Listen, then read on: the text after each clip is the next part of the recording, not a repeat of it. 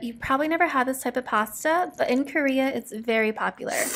So this dish is called pollock roe pasta and it's made out of cod roe.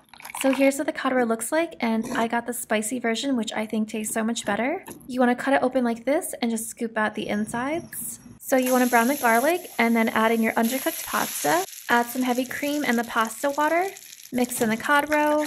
And this part is optional, but I think it does add a lot of flavor. Add a little bit of butter and some Kewpie mayo. And as for the garnish, I'm using scallions, furikake, and if you'd like, add an egg yolk. And this is just a guess, but